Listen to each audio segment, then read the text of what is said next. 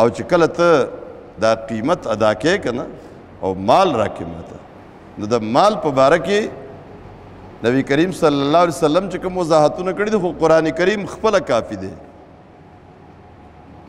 الله فرمایي مثل الذين ينفقون اموالهم في سبيل الله هغه خلک چې خپل مالونه د الله په لار کې خرج کوي دغه د رضا لپاره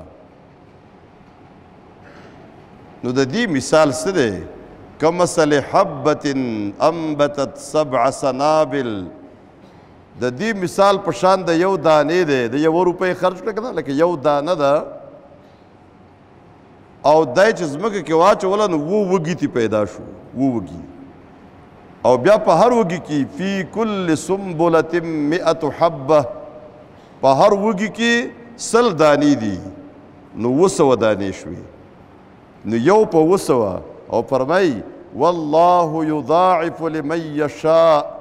الله زیاتی چاته چې څومره خوښ شي نو څنګه د سیاسي نه زیاتی ستا اخلاص دی چې ستا اخلاص څومره زیاتو نو دومره به د نیکو اجر زیاتیږي او څومره وسوه نو وسوه سوار لسوه نو سوار لسوه اټایس سوه